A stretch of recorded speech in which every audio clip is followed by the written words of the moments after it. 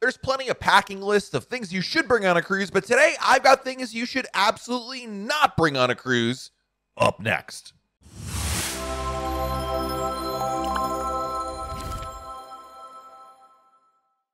Hey everyone, it's Matt from RoyalCaribbeanBlog.com. I know it. Packing is stressful because you just don't want to forget anything, but there are some things you shouldn't bring on a cruise. And the first thing I thought of not to bring on a cruise are towels. You really don't need them because Royal Caribbean provides towels for you. I think the issue here is people think they need towels for their excursions to bring to the beach, but Royal Caribbean provides towels for you to use not only on board at ships, but also in the ports that you'll be visiting. You can take as many out as you need to, just return them by the end of the cruise to avoid a fee. But you don't need to bring your own towels because it's just going to take up way too much space. Yeah, maybe you have an awesome towel that you brought from home, but uh, all that extra space required for a towel is not really necessary, and Royal Caribbean towels are more than enough. Number two is you don't need to change money, so don't bring any other currency other than probably US dollars. Depending on the cruise destination, bringing local currency is just frankly unnecessary. Many popular cruise ports accept US dollars, especially anywhere in the Caribbean. With so many visitors these days from the United States, everybody takes US dollars. So if you're going to Nassau, you don't need to even bother exchanging currency, even if you wanted to, because US dollars and Bahamian dollars are a one to one ratio. If you're visiting Mexico or anywhere else, again, you could change it to pesos, but it's really not worth it. Now, to be fair, yes, you could get a better exchange rate using pesos compared to US dollars, but the difference is so minuscule, in my opinion, you're just wasting your time. Now, of course, if you need larger sums or you don't feel comfortable using cash, you could use credit cards. But it is important if you're using a credit card in a foreign country to make sure your credit card doesn't have foreign transaction fees. Plus, a lot of establishments and cruise ports will accept credit card payments, especially restaurants and shops. Although it is fair to mention that if you're an American, American Express usually isn't nearly as widely accepted as Visa or MasterCard, ditto for Discover. And the other advantage of using credit cards over cash in any of the ports you're visiting is that you don't have to worry about carrying a lot of cash on you. If you use your credit card, the liability is far less than, of course, if you lose your cash.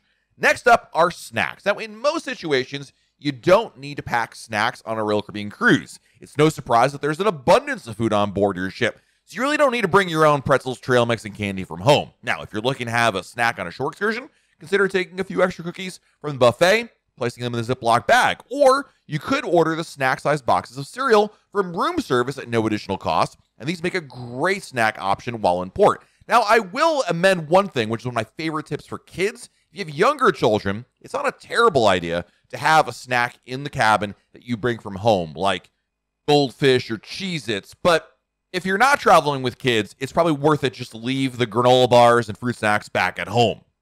Next up is valuable jewelry. And listen, I'm all about the sparkly, right? And I get it that you want to look your best on a cruise, but it's probably a good idea to leave your most expensive items at home or only wear them while on board. Now, it's pretty unlikely that anything will happen to your jewelry on a Royal Caribbean cruise, but if you're wearing them in port, it may draw unwanted attention to yourself and your travel party.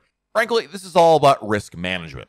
The next thing on my list that you should definitely leave at home is that bulky stroller. If you got younger kids, you're going to want to bring your stroller because, you know, there's going to be opportunities for the kids to be able to take a nap and just take a rest in there, especially during shore excursions. But bulky strollers, the one that can do everything, yeah, those aren't really a good idea because cruise ships are confined spaces. It can be really tough to navigate the ship with a really large stroller. Plus, taking a bulky stroller into port can be complicated and many cruise ports have very narrow and uneven sidewalks that make pushing a stroller very difficult. In addition, where are you going to put it in your cabin? In a lot of cases, it's going to take up valuable space. So instead, what you want to do is not to leave a stroller completely at home, but bring an umbrella stroller instead. You know, those cheap umbrella strollers are great because they pack down easily and they're much more lightweight, which makes travel with them a breeze. Now, Royal Caribbean doesn't provide strollers for you, but in my opinion, when we had kids that young, we would get an umbrella stroller that was really cheap, use it on board the ship and in the ports we were visiting. And then you know what? If we didn't like it, we could always toss it because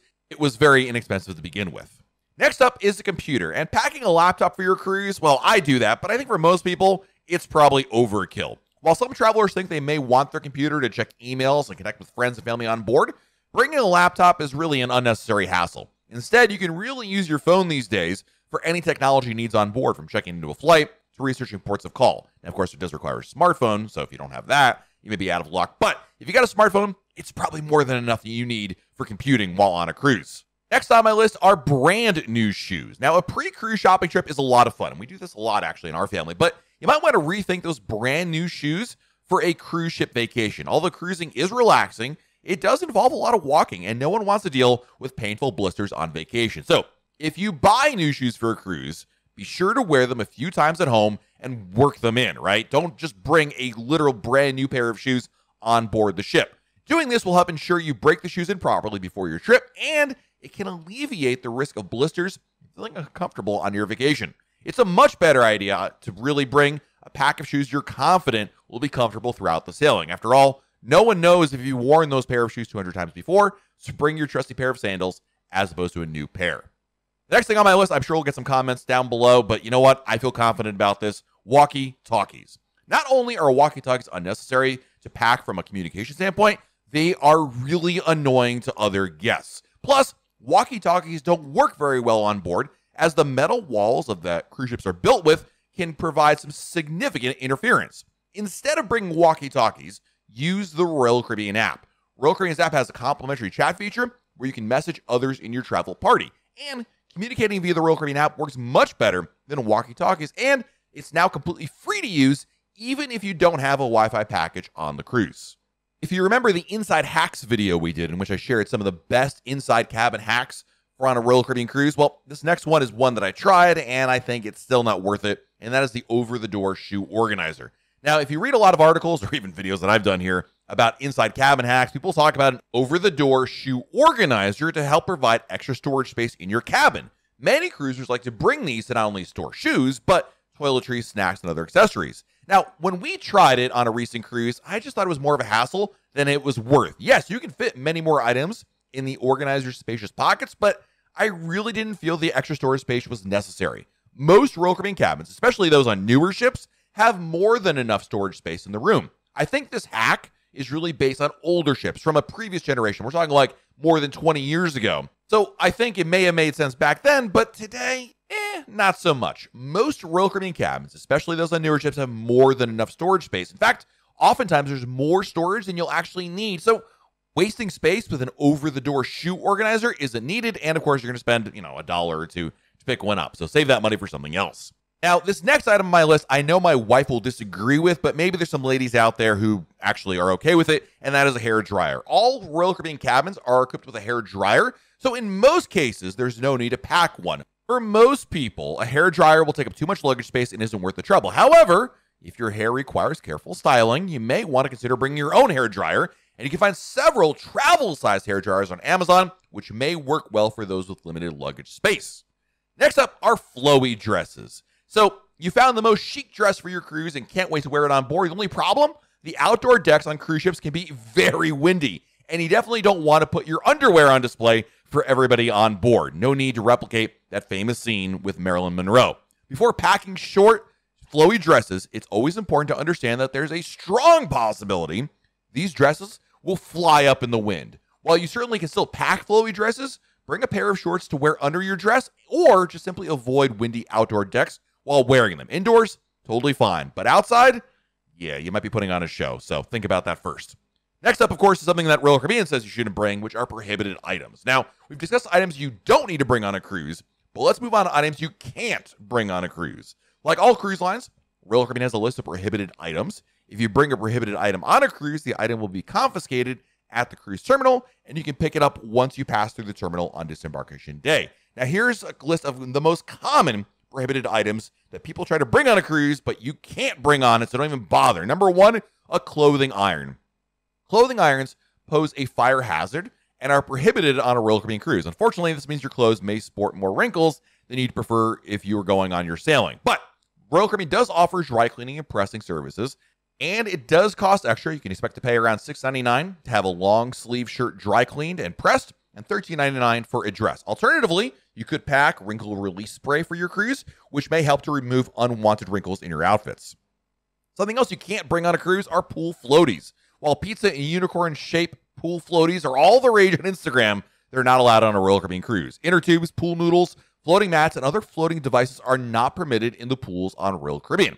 Arm floaties for kids are tolerated, but your best bet if traveling with kids is to take advantage of Royal Caribbean's complimentary swim vests. These are available on the pool deck and come in four sizes infant, children, youth, and adults small. While floating devices outside of SwimVest are not allowed on board, you may be able to use them in the beaches or pools of your ports of call.